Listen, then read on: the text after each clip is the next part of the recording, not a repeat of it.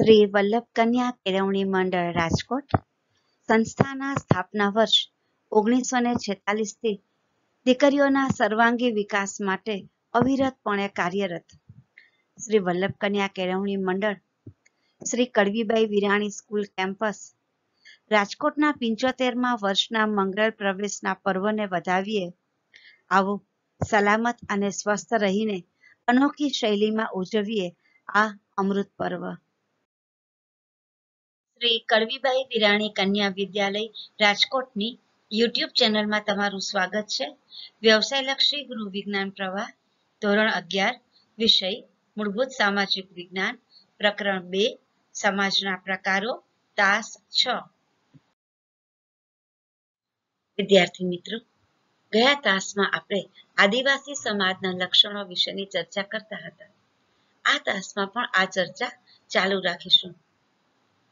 આજે અન્ય લક્ષણોની સમજૂતીમાં પ્રથમ આવે છે નિયમો અને નિષેધો.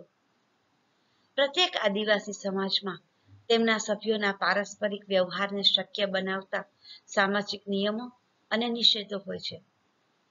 આપણે ચેપ્ટર નંબર એકમાં પણ સમજેલા કે જ્યાં સમાજ હોય છે, પછી કોઈ પણ પ્રકારનો કેમ ન હોય, ત્યાં અમુક નિયમો હોય છે.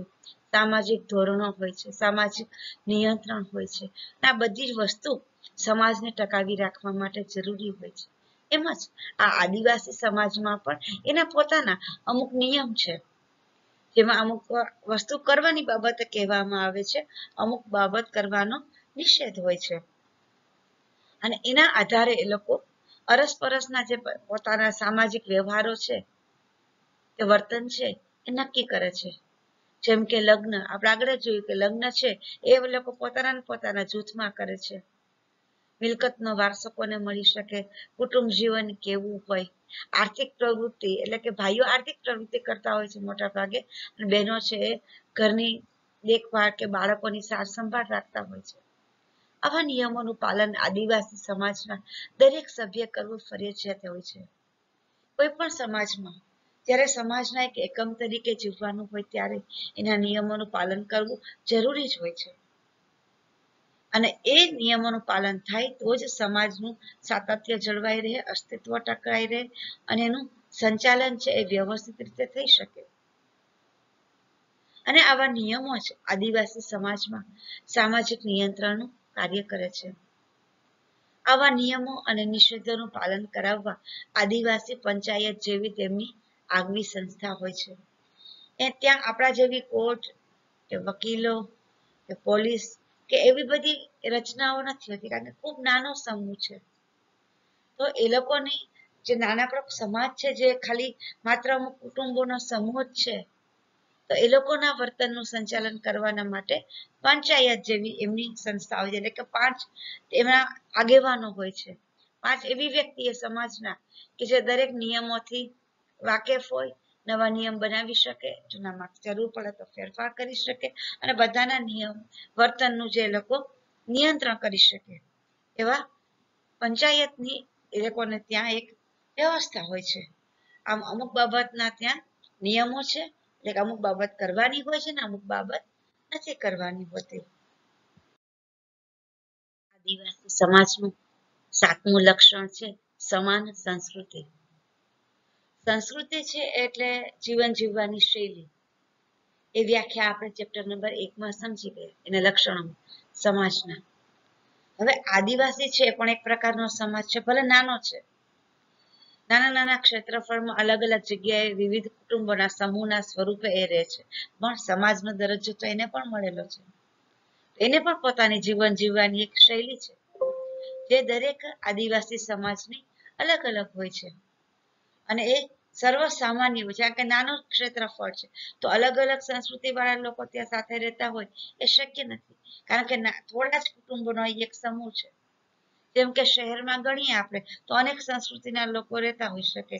દેશ વિદેશના લોકો પણ ત્યાં સ્થાયી થયા હોઈ શકે. તો વિભિન્ન સંસ્કૃતિના લોકો ત્યાં રહેતા હોય. પણ અહીંયા એ શક્ય નથી, કારણ કે ખૂબ જ નાનો સમુદાય છે. એટલે જે કઈ સંસ્કૃતિ છે, એ સર્વસામાન્ય છે. બધાની એક સરખી છે. આગવી છે. અને એ બીજા બધા જ સમાજ, એટલે કે ગ્રામ સમાજ, શહેરી સમાજ, જ્ઞાતિ સમાજ, બધાથી એને જુદી પાડે છે એ પ્રકારની હોય છે. આપણે ઘણી બધી વખત કોઈ પણ મીડિયામાં જ્યારે આદિવાસી સમાજને લગતી કોઈ ઘટનાનું વર્ણન હોય, તો આપણે જોઈ શકીએ છીએ કે એમની ભાષા અલગ છે, બોલી અલગ છે, એ લોકો પાસે લિપિ તો છે જ નહીં. એના રીત રિવાજો અલગ છે. એ લોકોનો પહેરવેશ, એ લોકોનો બાહ્ય દેખાવ, કુટુંબ જીવન, લગ્ન પ્રથા, નૃત્ય, સંગીત, ધર્મ, ગીતો, વાર્તાઓ, આર્થિક પ્રવૃત્તિ આર્થિક પ્રવૃત્તિમાં એ લોકોને એવું છે કે ભાઈઓ એક સરખું જ કામ કરતા હોય છે. તીરકામઠાથી શિકારનું કામ હોય કે અન્ય કોઈ કામ હોય. કે ત્યાંના નજીકના વિસ્તારમાંથી અનુકૂળ એ લોકોને માં જે સ્કિલ હોય એ પ્રકારનું કામ એ લોકો કરતા હોય છે. ત્યારે શહેરમાં જોઈએ તો અનેક પ્રકારના કામ અહીંયા આપણને જોવા મળે છે. કાર્યમાં વિશેષીકરણ છે એવું ત્યાં હોઈ શકે એ શક્ય જ નથી. યુવાગ્રહ છે એટલે કે જ્યાં યુવાનોને ટ્રેન કરવામાં આવે છે એના વિશે ડિટેલમાં આપણે આગળ વાત કરશું ન્યાય પંચાયત અલગ છે. હવે તમે જ વિચારો કે શહેરી સમાજમાં કોઈ પાંચ વ્યક્તિ આખા શહેરનું નિયમનું સંચાલન કરી શકે? પોસિબલ જ નથી. ત્યારે અહીંયા અલગ ન્યાય પંચાયત છે. આપણે કોર્ટ, વકીલ પોલીસ તંત્ર અલગ વ્યવસ્થા છે. તો જેવો સમાજ જેટલી એની સંખ્યા, જેટલું એનું ક્ષેત્રફળ, એ પ્રમાણે એની અલગ અલગ સંસ્કૃતિ ને અલગ અલગ રીત રિવાજ હોય છે. એમ આ લોકોની બહુ નાના ક્ષેત્રફળમાં, ઓછા કુટુંબોના સમૂહના સ્વરૂપે સમાજની રચના હોવાથી એ લોકોની સંસ્કૃતિ એક સરખી જ હોય છે. આદિવાસી સમાજનું આઠમું લક્ષણ છે, રાજકીય સંગઠન. રાજકીય રીતે આદિવાસીઓ પોતાના પ્રદેશની રાજ્ય સરકાર દ્વારા શાસિત થાય છે. અગાઉના તાસમાં એક ઇમેજમાં આપણે જોયેલું કે કયા કયા રાજ્યોમાં કેટલા પ્રમાણમાં આદિવાસી લોકો છે. દરેક રાજ્યમાં એની સંખ્યા કે ટકાવારી અલગ અલગ હોઈ શકે છે. અને એને આ રાજ્યના સરકાર દ્વારા જે કંઈ નિયમો કરવામાં આવ્યા હોય, એને બંધન કરતા હોય છે, એને લાગુ પડતા હોય છે. એનું શાસન એને માન્ય કરવાનું હોય છે. પરંતુ એક રીતે જોઈએ આપણે, તો વાસ્તવિક રીતે એ લોકોના સમાજમાં પરંપરાથી જે ચાલ્યું આવતું વંશાનુગત સ્વરૂપનું વિશિષ્ટ રાજકીય સંગઠન છે, એને લોકો વધારે ફોલો કરતા હોય છે. એટલે કે જેમ આપણે ત્યાં પહેલા રાજાશાહી હતા, તો રાજકીય પરિવારના દરેક એક પછી એક સદસ્ય વંશ પરંપરાગત રીતે શાસનનું કામ કરતા હતા, એ જ રીતે આદિવાસી સમાજમાં પણ હોય છે. ત્યાં પણ સરદાર હોય છે, સરદારના પરિવાર, એમના પુત્રો. એ રીતે વંશાનુગત સ્વરૂપનું જે વિશિષ્ટ રાજકીય સંગઠન છે, એ જ સમગ્ર રીતે એ લોકોનું સંચાલન કરતું હોય છે. અને એ જ વ્યવસ્થાને, એ જ સરકારને એ જ પ્રકારના સ્વરૂપને એ લોકો વધારે માનતા હોય છે. આદિવાસી સમાજની પોતાની આગવી પંચાયત હોય છે. આગળ આપણે વાત કરીએ, એ લોકોના જે પાંચ આગેવાનો હોય છે, એ જ સમગ્ર સંચાલનના સમાજના સંચાલન સ્વરૂપે અલગ અલગ નિયમો બનાવે છે અલગ અલગ નિષેધો ઘડે છે અને ત્યાં ન્યાય આપવાનું કાર્ય કરે છે. એ લોકોની ન્યાય પ્રણાલિકા પણ અલગ પ્રકારની છે. આપણા જેવી હોતી નથી. સજા પણ અલગ પ્રકારની હોય છે. તો ન્યાયનું કાર્ય આખું છે, વહીવટનું કાર્ય છે આખું દીવાની તથા ફોજદારી ફરિયાદોના નિકાલનું કાર્ય જે આ લોકો કરે છે, એ બધાની રીત અલગ છે. આપણી જેમ ત્યાં કોર્ટ નથી, પોલીસ તંત્ર નથી, એવું કશું જ નથી. ત્યાં અલગ અલગ રીતે એની રીતે સજા આપવામાં આવે છે અને કોઈ પણ ફરિયાદ નિવારણ કરવામાં આવે છે. અને જે આપણે અલગ અલગ મીડિયા દ્વારા ક્યારેક ક્યારેક જોતા હોઈએ છીએ જે આપણા માટે અચરજની વાત છે, નવી વાત છે. પણ એ લોકો એ જ રીતે રહેવાને માટે ટેવાયેલા હોય છે. તો એ લોકોનું રાજકીય સંગઠન છે, એ આપણા રાજકીય સંગઠન કરતા અલગ પ્રકારનું છે ન્યાય વ્યવસ્થા છે એ અલગ પ્રકારની છે. રાજકીય સંગઠનમાં જ આગળ વાત કરીએ, તો એમના આગેવાનોની બનેલી આ પંચાયતમાં મુખ્ય મહત્વનું સ્થાન ધરાવે છે. એટલે કે પાંચમાં પણ એક વ્યક્તિ જે છે, એ મુખ્ય તરીકે કામ કરે છે. મુખ્ય વ્યક્તિ તરીકે એટલે એને મુખી કહેવામાં આવે છે. આદિવાસી પંચાયત ધર્મ, જમીન, લગ્ન, છૂટાછેડા, મિલકતની વહેંચણી અંગેના જગલાની પતાવટ કરે છે. જેમ અન્ય સમાજમાં, એટલે કે ગ્રામીણ સમાજમાં પણ પંચાયત હોય છે અને એ લોકો પણ આ શહેરી સમાજની જે વ્યવસ્થા જે છે, રાજકીય કે પોલીસ તંત્ર છે કે કોર્ટ છે, એનો મદદ લઈ શકે છે. અને ત્યાં આ બધા ઝઘડાની પતાવટ થતી હોય છે. એમ આ લોકોમાં આ બધા નિયમો લાગુ પડતા હોય છે, પણ એની જરૂરત જ નથી પડતી હોતી. ત્યાંની જે પંચાયત છે, એ જ આ મુખ્ય મુખ્ય પ્રકારના એ લોકોના જે કંઈ સમસ્યાઓ હોય કે ઝઘડાઓ હોય, એની પતાવટ ત્યાં જ કરી નાખે છે. અને આ પંચાયતનો નિર્ણય છે એ સર્વોપરી અને સર્વમાન્ય ગણાય છે. પછી એનાથી આગળ કોઈ કંઈ કરતું નથી. જ્યારે આપણે અહીંયા એવું છે કે હાઈકોર્ટમાંથી આપણને સંતોષ ન થાય નિર્ણય આપણે સુપ્રીમ કોર્ટમાં જઈ શકીએ છીએ. કેમ ત્યાં એ લોકોને ત્યાં આવી વ્યવસ્થા નથી હોતી. આ પંચાયત જે નિર્ણય કરે, એને એ લોકો માન્ય રાખતા હોય છે. દાખલા તરીકે સંથાલ આદિવાસી સમાજમાં પંચાયતનો મુખ્ય છે એ ખેતી અને જમીનની વેચણી પર દેખરેખ રાખે છે. કોઈ વધારે ન લઈ લે કોને કેટલી જરૂરિયાત છે? કોને કોને કયા પ્રકારની ખેતી કરવી? આ દરેક જે મહત્વની બાબત મુખ્ય એ લોકોની જે છે, એની ઉપર દેખરેખ આ પંચાયત જ રાખતી હોય છે. આ દરેક સમાજને પોતાનું એક રાજકીય માળખું છે અને રાજકીય નીતિ નિયમો પણ છે. અને એના મુજબ એ લોકો પોતાનું જીવન જીવતા હોય છે અને ન્યાયને મેળવતા હોય છે. આદિવાસી સમાજનું નવમું લક્ષણ છે કાર્યોના વિશેષીકરણનો અભાવ. આ વસ્તુ સહજ રીતે આપણે સમજી શકીએ કારણ કે ત્યાં લિપિ નથી, શિક્ષણ નથી. તો એની પાસે વિશિષ્ટ સ્કિલ ક્યાંથી હોઈ શકે? જેમ કે ગામડાના લોકો છે, એ ક્યારેક સ્કિલ થઈ શહેરમાં આવીને, આશા ગ્રામ્ય સમાજમાં ભળીને ત્યાં એનો વિકાસ કરી શકે? ગામડાનો, પોતાનો વ્યક્તિગત દરેક રીતે, પણ આદિવાસી સમાજમાં આવું બહુ ઓછી ટકાવારીમાં થાય છે. આદિવાસીઓની અર્થવ્યવસ્થા તદ્દન સાદી હોય છે. એટલે કે આપણે ત્યાં જેમ અર્થ ઉપાર્જન માટે એટલી બધી પ્રક્રિયાઓ છે, એટલી બધા રસ્તાઓ છે ઘણી બધી વિશેષતાઓ છે. એ જોઈને આપણને એમ થાય કે ખરેખર જેને કમાવવું છે, રસ્તો શોધી લે છે. આજના સમયમાં પણ ઘણા બધા બિઝનેસ બંધ થઈ ગયા, ઘણા લોકોએ નોકરીઓ છૂટી ગઈ. ઘણા, છતાં ઘણા બધા લોકોએ પોતાની રીતે કંઈક ને કંઈક રીતે કમાવવાની રસ્તો શોધી લીધો છે. જ્યારે આદિવાસી સમાજમાં એવું નથી હોતું. ખેતી, પશુપાલન, ખાદ્ય સંકલન શિકાર લઘુ ઉદ્યોગો વગેરે વ્યવસાયોનું ટેકનિકલ જ્ઞાન તેઓ ધરાવે છે. એટલે કે પહેલેથી જ ખેતી તો સાવ પ્રાથમિક બાબત છે. ખોરાકને લગતી એટલે કોઈ એની કુશળતા, વંશ પરંપરાગત મેળવેલી હોય. ખેતીને આધારિત જ પશુપાલન છે. ખોરાકનો કેમ સંગ્રહ કરવો, શિકાર આખા જંગલી વિસ્તારમાં એ લોકો થાય છે. બીજા બધા સમાજથી અલગ રહે છે. અને નાના મોટા ઘરઘરાવ થતા હોય એવા લઘુ ઉદ્યોગ.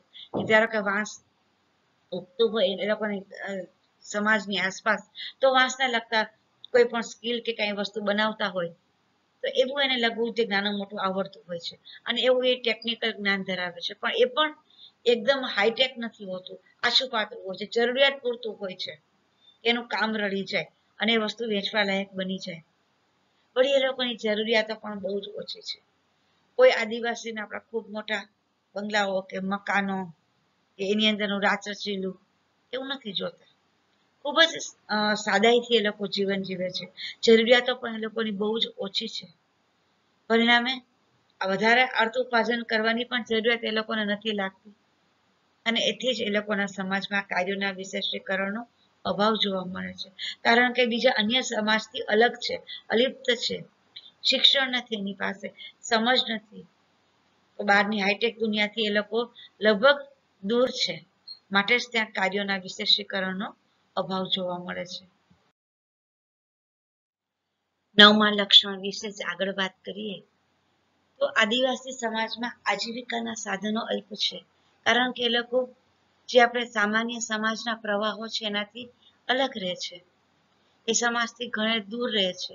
તો એ લોકો પાસે ટેકનોલોજીનો અભાવ છે.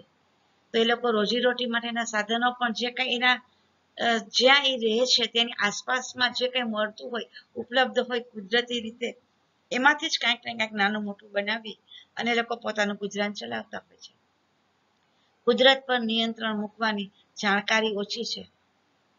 આપણને ખબર છે કે પાણીને રોકી રાખવું હોય તો આપણે ડેમ બાંધી શકીએ, ત્યારે એ લોકોને એ નથી ખબર. કુદરત ઉપર નિયંત્રણ કઈ રીતે રાખવું?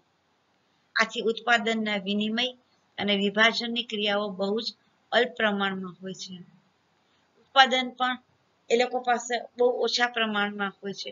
વિવિધતા પણ ઓછી હોય છે. આ બધી જ વસ્તુ છે એ એકદમ જરૂરિયાત પૂરતી હોય છે. આથી કાર્યોના વિશેષીકરણની અને નિષ્ણાંતિકરણની તેમને જરૂર પડતી નથી. કારણ કે લાઈફસ્ટાઈલ એકદમ સિમ્પલ છે. ખોરાક છે. પૂરતું ખેતી કરી શકે છે. રોજગારી મેળવવા પૂરતો શિકાર કે બીજું કંઈ પણ નાની મોટી ખેતીને લગતું કામકાજ છે કે વાંસને લગતું કે જે કંઈ કુદરતી સાધન સંપત્તિની પાસે આસપાસ અવેલેબલ છે, એમાંથી એ લોકોને વંશ પરંપરાગત જે કંઈ કુશળતા પ્રાપ્ત થઈ હોય એના આધારે લોકો એનું જીવન જીવતા હોય છે. અને લોકોની વધારે જરૂરિયાતો જ નથી. પરિણામે ત્યાં વિશેષીકરણની અને નિષ્ણાંત લોકોની જરૂરત જ પડતી નથી. એમનું શ્રમ વિભાજન પણ સાદું એટલે કે ઉંમર અને લિંગના પાયા ઉપર રચાયેલું હોય છે. એટલે કે નાના બાળકો હોય તો એ પ્રમાણમાં નાનું મોટું કામ કરતા હોય છે, કોઈ પરિવારના લોકો કામ કરતા હોય એના સંદર્ભમાં. દીકરી હોય તો માની સાથે કામ કરતી હોય, દીકરો હોય તો પિતાની સાથે આર્થિક ઉપાર્જનને લગતું નાનું મોટું કામ કરતા એ શીખી જાય છે. તો ઉંમર અને લિંગના પાયા ઉપર જ રચાયેલું હોય છે. ભાઈઓ અમુક જ પ્રકારનું કામ કરે છે, બહેનો અમુક જ પ્રકારનું કામ કરે છે. એટલે કે આપણે ત્યાં જેમ છે કે બહેનો પણ દરેક પ્રકારના કામમાં આગળ વધી શકે છે એવી ત્યાં શક્યતા હોતી નથી. લક્ષણ છે ધર્મ. આદિવાસીઓ આદિમ ધર્મ અનુસરે છે. એટલે કે તેમનો ધર્મ છે એ જળ સજીવત્વવાદ તરીકે ઓળખાય છે. આપણે ત્યાં શહેરમાં જોઈએ તો અનેક ધર્મના લોકો અહીંયા સાથે રહેતા હોય છે. ત્યાં એવું હોતું નથી. પણ એ લોકોનો ધર્મ છે એ જુદા પ્રકારનો છે. સાથે સાથે કોઈ એક જળ વસ્તુ છે, એમાં પણ સજીવ તત્વ ને માનીને, એની કલ્પના કરીને એ લોકો એની પણ પૂજા કરતા હોય છે. એ લોકોમાં ભૂત, પ્રેત અને જાદુના તત્વો પણ જોવા મળે છે. જ્યારે શહેરી સમાજમાં, અને હવે તો ગ્રામીણ સમાજમાં પણ, આ બધી વાતોમાં લોકો વિશ્વાસ નથી કરતા. અને પુરુષાર્થ ઉપર પોતાનું ધ્યાન કેન્દ્રિત કરીને પોતાની આજીવિકા મેળવે છે, જીવન જીવે છે. આદિવાસી સમાજમાં નૈતિક નિયમો, હિન્દુઓ અને મુસ્લિમોથી વિભિન્ન સ્વરૂપના છે. એટલે કે બીજા કોઈ પણ સમાજથી કોઈ પણ જાતિના નિયમોથી એ લોકોના જે નિયમો છે એ અલગ જ છે. એટલે કે આદિવાસી સમાજ જ અલગ છે. માટે જ આપણે એને અલગ સમાજ તરીકે જેનો અભ્યાસ કરીએ છીએ. કારણ કે બીજા સમાજથી ખૂબ વિભિન્નતા ધરાવે છે. તેની ધાર્મિક માન્યતાઓ અને વિવિધતાઓ નિમ્ન હિન્દુ જ્ઞાતિઓથી ભિન્ન તરી આવે છે. એટલે કે એક પણ બાબતમાં એ લોકો આપણી સાથે તાલમેલ ધરાવતા નથી અથવા તો એકતા ધરાવતા નથી. ધાર્મિક માન્યતા હોય રોજીરોટીની બાબત હોય, શિક્ષણની બાબત હોય, કોઈ માન્યતાની બાબત હોય, કાયદાની બાબત હોય, કોઈ પણ બાબત હોય, એનાથી એ લોકો અલગ છે. જન્મ, લગ્ન, મૃત્યુને લગતા તેમના રિવાજો આપણાથી ભિન્ન અને વિશિષ્ટ સ્વરૂપના છે. આપણે ઘણી બધી એવી જગ્યાએ મીડિયા ઉપર જ્યારે આદિવાસી કોઈ પણ સમાજ વિશેની કોઈ પણ વાત હોય છે ત્યારે જોઈએ છીએ કે દરેક સમાજને પાછી પોતાની પ્રણાલિકા છે. દરેક આદિવાસી સમાજમાં પણ વિભિન્નતાઓ તો રહેલી જ છે. પણ સમગ્ર આદિવાસી સમાજ છે એ આપણા મુખ્ય ધારાઓ જે સમાજની છે ગ્રામીણ સમાજ છે કે શહેરી સમાજ, એનાથી એ લોકો બિલકુલ જ વિપરીત અથવા તો વિભિન્નતા ધરાવતા સમાજના લક્ષણો ધરાવે છે. અગિયારમું લક્ષણ છે, યુવા ગ્રહ. એ આદિવાસી સમાજનું વિશિષ્ટ લક્ષણ છે. યુવાગ્રહ એ આદિવાસી યુવકો અને યુવતીઓને સાંજના સમયે એકઠા થવાનું સ્થળ છે. યુવા ગૃહમાં આદિવાસી યુવકો અને યુવતીઓને સામાજિક, સાંસ્કૃતિક અને આર્થિક જીવનની અનૌપચારિક તાલીમ મળે છે. તેમાં વિવિધ, વિભિન્ન અને વિવિધ સામાજિક, સાંસ્કૃતિક પ્રવૃત્તિઓ કરાવવામાં આવે છે. જેમ આપણા બાળકો છે ગ્રામીણ કે શહેરી સમાજના, એ ઘણી બધી સામાજિક બાબતો છે એ શાળામાંથી શીખે છે, પરિવારમાંથી શીખે છે. એમ આ આદિવાસી સમાજના જે યુવકો છે, એ લોકો રોજ સાંજે જે જગ્યાએ ભેગા થાય છે એને એ લોકો યુવાગ્રહ કહે છે. અને એને એ લોકો સમાજને, પોતાના સમાજને લગતી અને પોતાની સંસ્કૃતિને લગતી તેમજ એમની સમાજમાં, ભવિષ્યમાં એમની જે ભૂમિકાઓ છે નિભાવવા માટેની એ લોકોને અનૌપચારિક તાલીમ આપવામાં આવે છે. અને એમાં અલગ અલગ સામાજિક અને સાંસ્કૃતિક કાર્યક્રમો અને પ્રવૃત્તિ એ લોકોને કરાવવામાં આવે છે અને એ દ્વારા એ લોકોને એક પ્રકારની ટ્રેનિંગ આપવામાં આવે છે. આ યુવા ગ્રહને શયનાગાર પણ કહે છે. કારણ કે આદિવાસી યુવકો અને યુવતીઓ અગર બંને પોતાના દૈનિક કાર્યથી પરવારીને સાંજે અહીં એકત્ર થાય છે અને પછી રાત્રે ત્યાં જ સૂઈ રહે છે. એટલે કે ક્યારેક કાર્યક્રમ કે પ્રવૃત્તિ શીખવતા શીખવતા મોડું થાય તો એ લોકો ત્યાં સૂઈ પણ શકે છે. ત્યાં આરામ પણ કરી શકે એવી વ્યવસ્થા ગોઠવાયેલી હોય છે. ભારતના બધા જ આદિવાસીઓમાં ફક્ત યુવકો માટેના જ યુવા ગૃહો છે અને કેટલાક આદિવાસીઓના યુવકો અને યુવતીઓના સંયુક્ત યુવા ગૃહો છે. એટલે કે ત્યાં આપણે જેમ સ્કૂલો માત્ર દીકરીઓ માટેની પણ હોય છે અને કો એજ્યુકેશન પણ હોય છે. સેમ વે ત્યાં આ યુવા ગ્રહ છે એ જ કામ કરે છે. બાળકોને ટ્રેનિંગ આપવાનું, પોતાના સમાજને લગતા નિયમોનું, એની ફરજોની, એ જ રીતે ત્યાં બે પ્રકારના યુવા ગ્રહ છે. એક એવા છે કે જેમાં ખાલી ભાઈઓ પૂરતા હોય છે, ભાઈઓને ટ્રેન કરવામાં આવે છે. જ્યારે બીજા છે એ સંયુક્ત રીતે આ કામ કરે છે અને બંનેને ત્યાં સ્વીકારે છે. યુવા એ ફરજિયાત જૂથ છે. એટલે કે દરેક આદિવાસી સમાજમાં આ જૂથ તો હોય જ છે. એ ફરજિયાતપણે એ લોકોએ નીમવાનું હોય છે. અને એના સભ્યપદ માટેની પણ ઉંમર નક્કી થયેલી છે કે આ ઉંમરના થાય પછી યુવા ગૃહમાં આવવું જરૂરી છે. જેથી કરીને મોટા થતા એ લોકો પોતાના સમાજને લગતી એ ભૂમિકાઓ છે એ વ્યવસ્થિત સમજી કરી અને એના માટેની જે કઈ સ્કિલ હોય એનામાં કળાઈ જાય અને એ વ્યવસ્થિત નિભાવી શકે. અને એ પ્રમાણે આદિવાસી સમાજની જે આખી સંચાલનની વ્યવસ્થા છે, કે આર્થિક વ્યવસ્થા છે, કે સામાજિક વ્યવસ્થા છે, એ વ્યવસ્થિત રીતે પાર પાડે છે, એ વ્યવસ્થાને જીવી શકાય છે અને એ લોકોની જે સાંસ્કૃતિક વિરાસત છે, એને પણ એ લોકો કન્ટિન્યુ કરી શકે છે, એમાં સાતત્ય જળવાઈ શકે છે.